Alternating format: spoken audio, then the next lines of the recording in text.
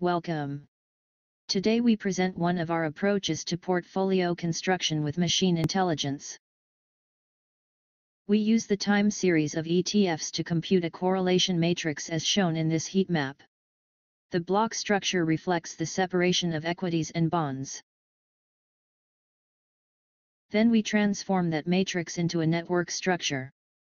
Each ETF becomes a node and each pairwise correlation becomes an edge of the network.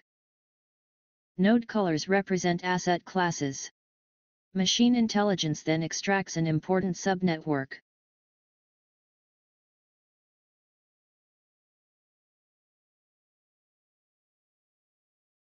We start with a traditional minimum variance approach and optimize the portfolio. Then we highlight the weights in the network according to node size. This strategy tends to concentrate in a few low-risk ETFs.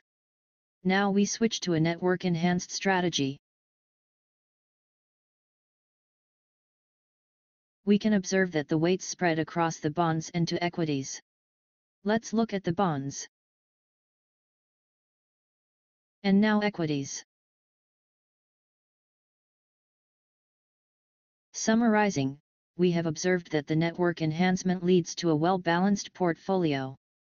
If this procedure is done iteratively every year, the following performance results.